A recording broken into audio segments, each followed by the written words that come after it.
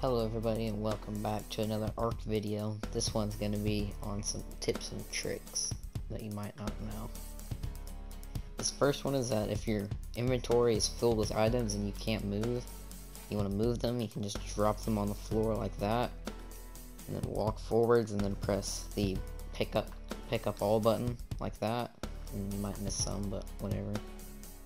And then you basically just keep doing that until you get to where you want to go. Obviously this isn't going to work at really far distances, but if you're only going like a few feet, then it probably would be a good idea.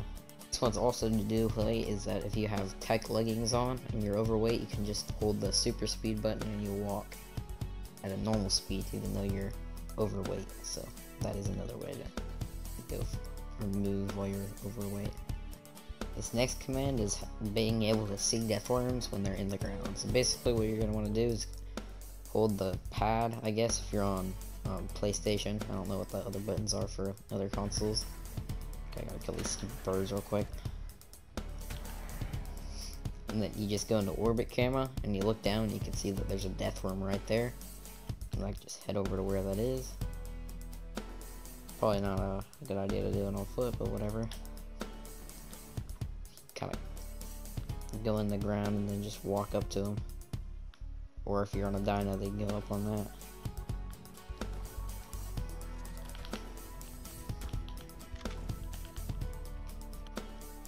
This next one is one of the otter. So basically the otter is the only creature that can hold more than one artifact. So right now I have an artifact in my inventory, which means I can't have another one of that same artifact. So I just do that. And then I got another one and then I could put that in his inventory as well. Now he's got two artifacts in his inventory. There's no other dino in the game that can hold more than one artifact. So if you're ever trying to farm up a bunch of artifacts, then you should probably bring an otter because, yeah.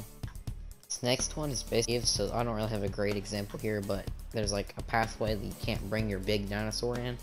So if you want to bring it in, you just put it in a cryopod and then come in. And if the thing is bigger than the entrance, you can throw it out. And you see I got a Reaper in here, which normally you can fit one in here. So now I can use my Reaper in this cave.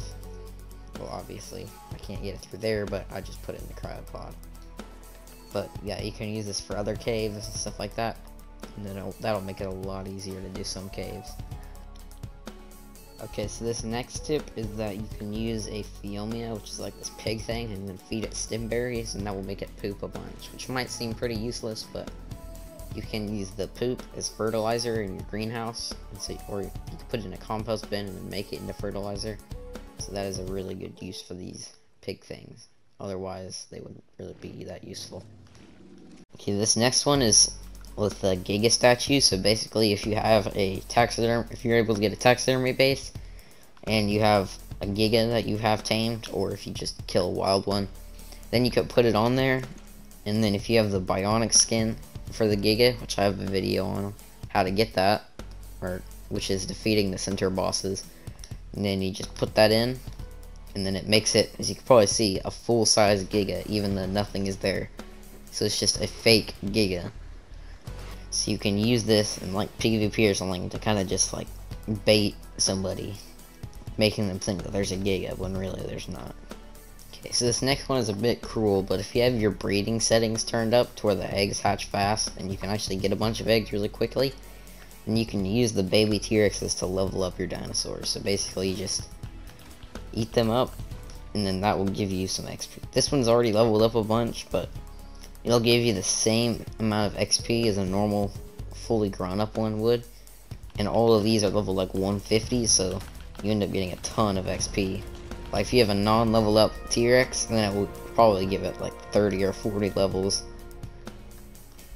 Okay, well that's all the tips and tricks I have for this video, so uh, thanks for watching.